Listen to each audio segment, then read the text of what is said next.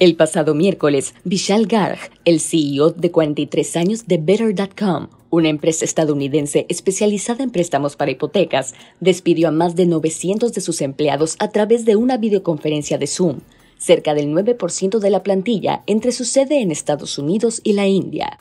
Vishal Garg hizo el anuncio arrancando con la frase, Les tengo malas noticias. I come to you with not great news. This isn't news that you're going to want to hear. Uh, but ultimately it was my decision.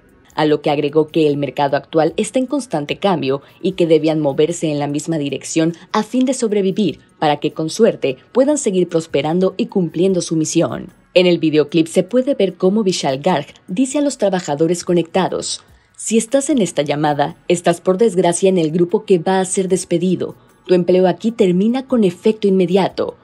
If you're on this call,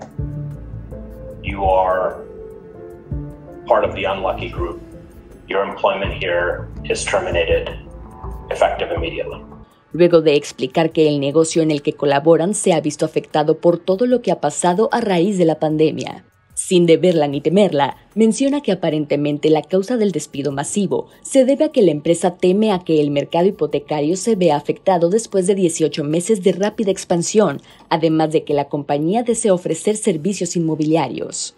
Como era de esperarse, en redes sociales las críticas hacia la empresa no se hicieron esperar, pero sobre todo hacia el CEO, a quien tacharon de no tener el valor de comunicar la noticia de manera más personal con cada empleado.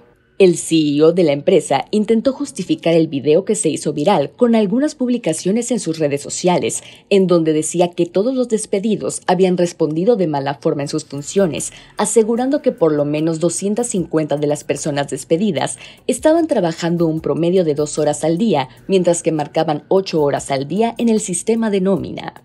El director ejecutivo dijo que todos los empleados despedidos con sede en Estados Unidos recibirán cuatro semanas de indemnización, un mes de beneficios completos y dos meses de encubrimiento por los cuales la compañía pagaría la prima.